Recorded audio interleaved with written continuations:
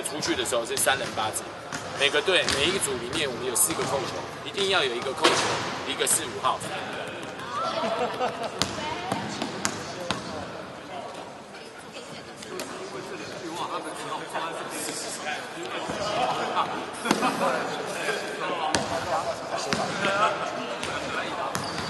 非常好。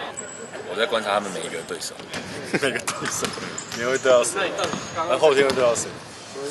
我要守。其实我们刚刚已经先在我刚刚已经练休息室的时候已经先讲好，然后我们有稍微沙盘团练一下。他们这是做给做给那个新闻看的啦，刚才是我们的苦练。